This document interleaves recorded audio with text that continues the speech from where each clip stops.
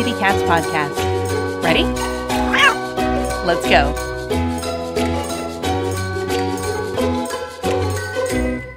Welcome to the Community Cats podcast.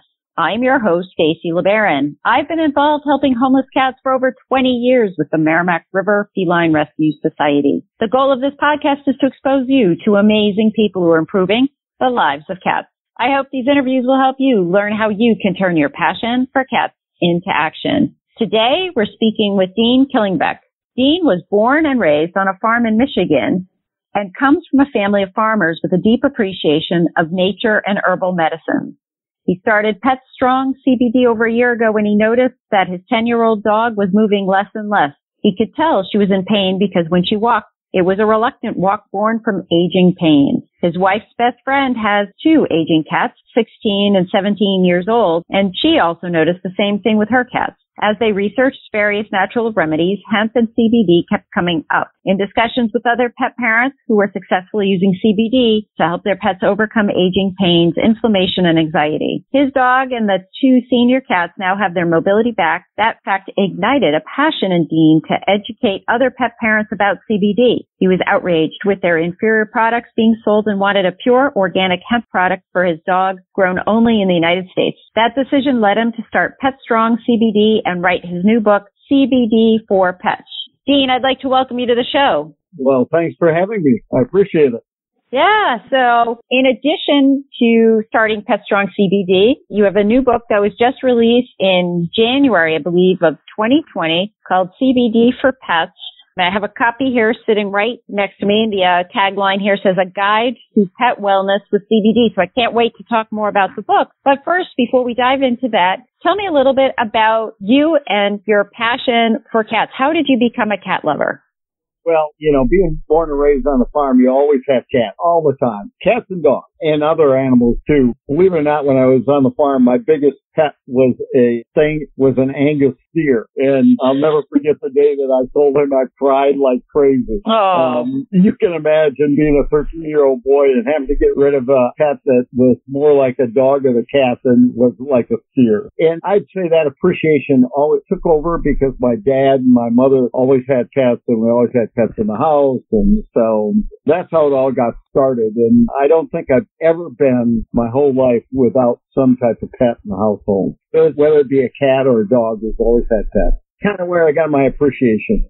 Yeah, that's great. And then from that point in time, from your childhood to now, how did you discover this whole thing around CBD? You talked about it a little bit in your bio, but did you look for alternatives in the past and nothing had helped your other pets that you'd had over the years? I mean, what was it about your 10 year old dog that got you researching CBD? Well, I, she wouldn't get up on the couch again, and hmm. she wasn't as playful as she always was. And I knew that something was wrong, you know. So I take her to the vet, and they go, "Oh, it's just old age, you know. She's probably got arthritis. Oh, here, take this pill, take that pill." And I go, "No, no, I really don't want to do that." And so that's how we kind of got involved in CBD. Of course, it made it a lot easier when the Farm Bill passed and it was legal in all 50 states. I first heard about CBD when I was out in Oregon and actually went to one of those places that sell CBD and other things too. And they started telling me how it would help your pet. So I actually purchased some for for her and found out it did work. And so we looked into it farther and if you go on the web, I mean, there's so much about CBD. It's unbelievable. Probably 80% of it is false.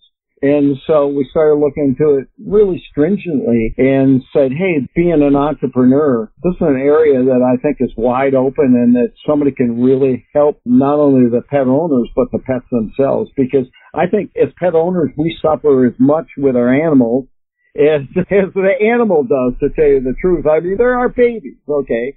So they're part of the household and they mean as much to us as our kids do, without a doubt in my mind. And now that I've, my kids are all grown up, they mean more to me.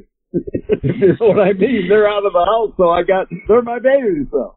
So. That's right. That's right. So you discovered CBD on your travels and then after much research you discovered that not all CBD is alike. Maybe for folks that don't even know what is CBD? Well, CBD comes from the hemp plant okay? And I'm not going to bore you with the ways of extraction, but there's good ways and bad ways. I'm just going to tell you the good way, which is the CO2 method, which means that what they do is they, it's under high pressure, low temperature, and it's called full spectrum CBD oil. So I'm going to give you a brief overview. There's four products out there that people are looking at. They're all considered CBD. Hemp oil, which is, has no CBD in it, but people see hemp oil and they go, oh, CBD. No, it's not. Uh, full spectrum, which gives you all the cannabinoids and what you need is the entourage effect for your animals to help the liver and the bladder and the kidneys and the stomach and all those good things. And then there's isolate and people will see really cheap product. Usually it comes from isolate and we say isolate is a microwave CBD. In other words, what they do is they put butane with it and they heat it up to 1500 degrees and you're ended up with a powder that looks like you're smoking cocaine or sniffing cocaine or whatever they do with it. So that's all that's in it, just CBD. There's nothing else in it. There's no vitamin C's, there's no vitamin A's, there's no omega fats, there's nothing but pure CBD. By the way, most of your cheap product that you're seeing is made from isolate. And to give you an idea, if you just have CBD, you need a carrier for it. So we use the hemp oil and the CBD is our carrier. But a lot of people put MCT oil, olive oil, grapeseed oil, some type of oil with it because it's so thick that if you don't have a carrier, it just doesn't work properly. Okay, so in other words, you can't even pick it up like motor oil. And then the last one is called a broad spectrum that has all of the THC out of it. Still a full spectrum, has no THC in it. So one of the major questions that we get asked all the time with our product is because it's full spectrum and it's not a broad spectrum, it's a full spectrum. They go, oh, can my pet get high on, on it because it's got THC in it? And I tell everybody, absolutely not, because first of all, to be hemp, it has to be 0.3 or less of THC in it. So what does that mean to the common person? If I made a cigar that was a foot long six inches around that made it out of hemp and smoked it. The only thing I get out of it is a really sore throat. It's impossible to get high. So that answers one of the major questions that we get all the time. Oh, will it make my pet high? Absolutely not. But a little THC helps that entourage effect that I talked about earlier that it helps the whole body system work. So that's why we use full spectrum. And that's still your best product. If you see a real cheap product, you know, something that says, oh, it's $28 or $29, and you're buying it from a vape shop or you're buying it from the video store or a convenience store and it's because it's isolate and it's just a cheap product that comes from China. And they don't have the organic growing methods or the testing methods that we do here. So with CBD, I've used it with one of my cats that had cancer. And I also, with CBD, I have used it with my mother when she was suffering from dementia. It seems like based on your book, many of the stories that you shared, the areas that CBD can be most beneficial in are anxiety, arthritis, cancer potentially, and maybe even with the coat, having a better coat or itchy skin, that kind of stuff. Would you say those are sort of the four best areas where CBD has seemed to be somewhat beneficial? Yes, probably the two major things that people really buy CBD, like I'd say 70% of our people that buy it for both cats and dogs is to relieve pain especially in older cats and dogs, and also for anxiety. I didn't realize how much anxiety cats had until I got into this business because I never had a cat that had anxiety. But I can give you a good example. One of the girls at where I go to the post office all the time, she said, "Oh, my cat! Every time my father comes over, hides underneath the bed." And I go, "What?" She goes, yeah, he hides in the bed. And I said, listen, here, take this bottle of CBD, try it, and see if it works and she's actually on our Facebook page where she wrote and she said, I can't believe it. The cat actually comes out and sits on my dad's lap now. So that's what it can do for anxiety of cats and dogs too. The other thing, of course, is pain relief. Probably the number one thing that we sell for skin coat. I had a friend of mine that's got a cat that's always had weepy eyes. And again, I said, here, take this bottle, try it out you know, you're always pushing things on your friends, right? And right. said, I will. And she loved it. I mean, the cat, after two weeks, the eyes cleaned up. And she said, I've had this cat for 14 years. It was a stray that just came in. And she said it's always had weeping eyes. The vet could never do anything for it. And I can't believe how it's cleared up the weepy eyes. If they're itching a lot, uh, it'll help with that. Loss of appetite. I don't know about cats, even though I, uh, one of the people that happens to be my cousin by marriage, she owns Luke's Landing that takes in nothing but the cats that have feline leukemia, and I support her and give her all the CBD she wants. And it's really amazing how it helps those cats with their appetite and their coat. So that way it really helps as far as we don't know because we've only been using it now for about She's been using about four years, but only for extreme cases. Now we're giving it to all the cats to see whether or not it's going to give them longevity of life. Because, you know, most cats that have leukemia, if they can live to four years old, that's pretty old. So we're trying to give that to the people that are boarding the cats and take them in. No, and I think it's a great opportunity to try. I want to go back actually when you were talking about the different types of CBD. Not only are the CBD with these different combinations and you have the full spectrum type, but they also have different concentrations. If that's correct, right? Yeah, that is correct. I'm glad you brought that up because I completely forgot about it like we started out and we looked at all the products, okay? And you start looking at products that have less than 100 milligrams of CBD in them. So if you're giving it to a cat that has high anxiety or has high pain or has got really bad skin or coat, I mean, if you give it a whole tincture, the most it would get is three milligrams, okay? If it was a hundred. that's not doing anything for the cat. And so I've had lots of people say to me, oh, you know, I've tried CBD and it hasn't worked. Okay, where did you get it from? That's the first thing, escape shop, you know, those type of places. But the other thing is, is what concentration are you getting it? You know, because if you've got a really nice big cat that's 12, 13, 14, 15 pounds, it's going to need some CBD. It's going to need six milligrams if it's in, inflamed. It's got a lot of inflammation and arthritis or something like that.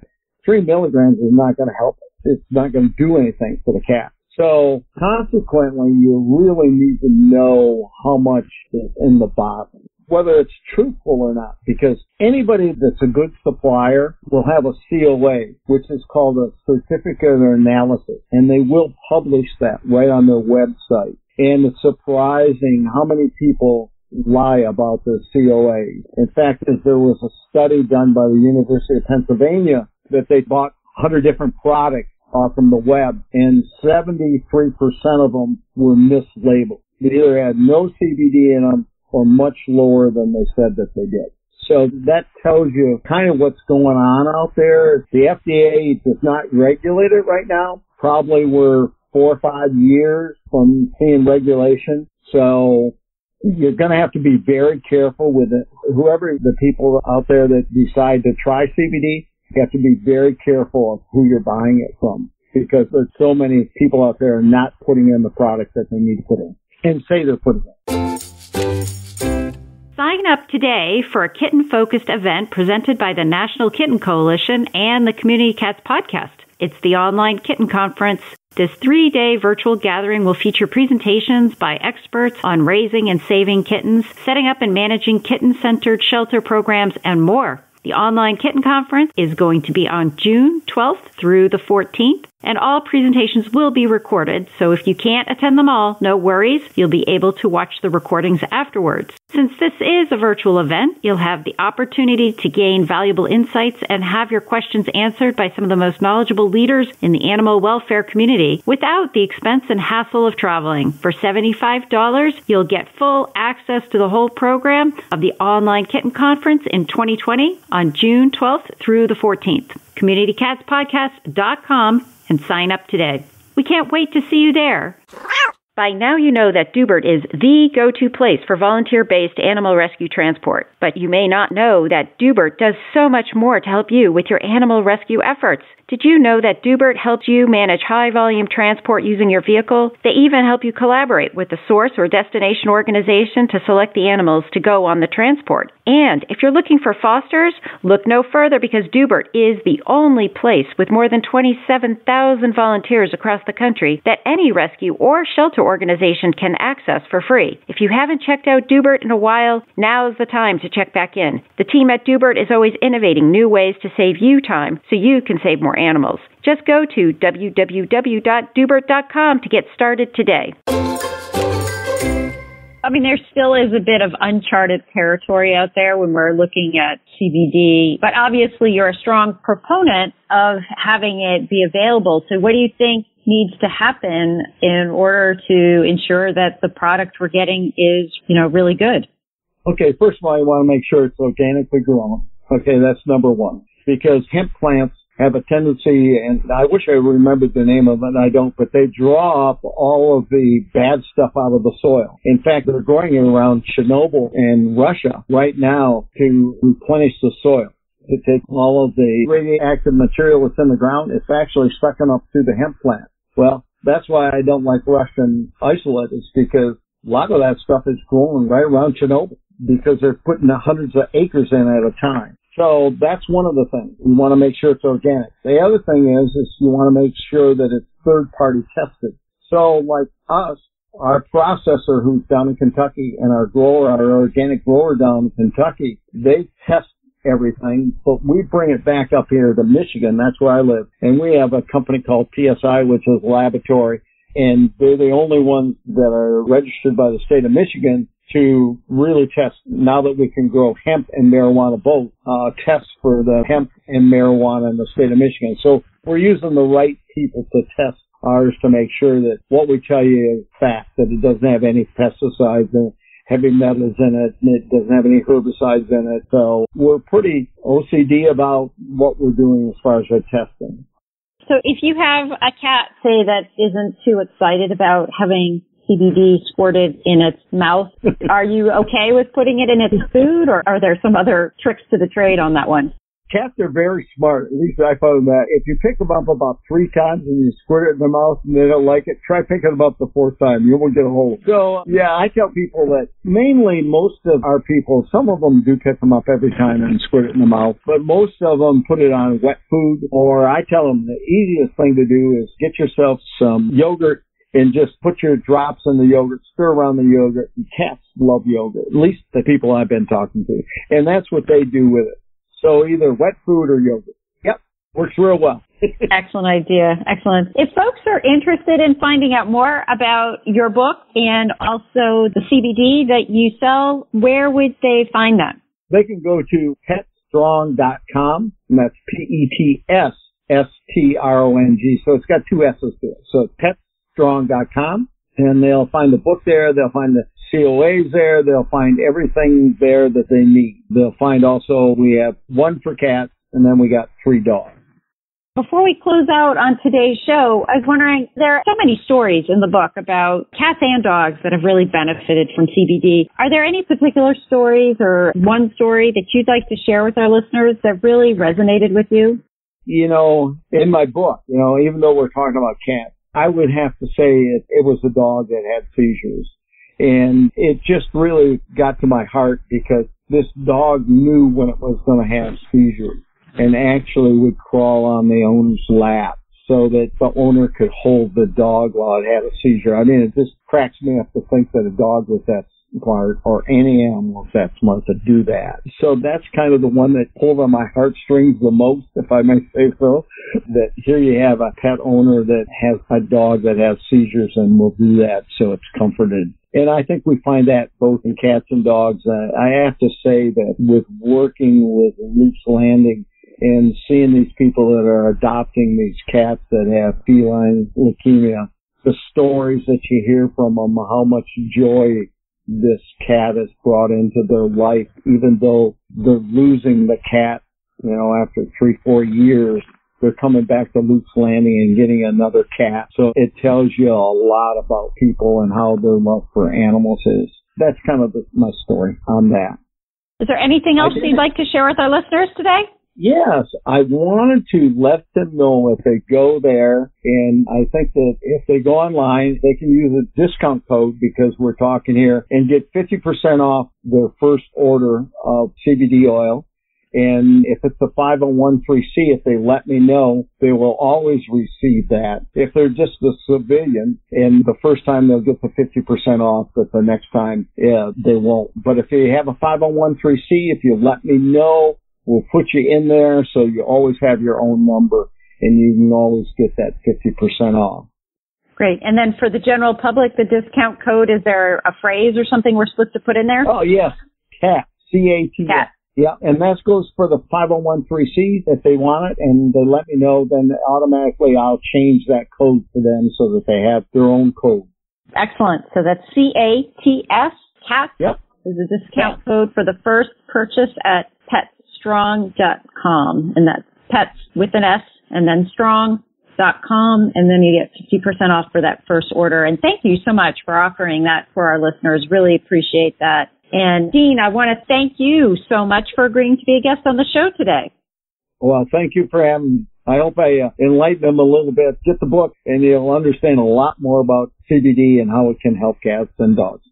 That's great. Excellent. For those of you that are listening to the show today, I'd hope that you might share this show with others. The more folks that can tune in and listen to the show, the better off we'll all be in caring for our cats. Thanks again, Dean. You're welcome. Thank you for listening to the Community Cats podcast. I would really appreciate it if you would go to iTunes, leave a review of the show. It will help spread the word to help more community cats.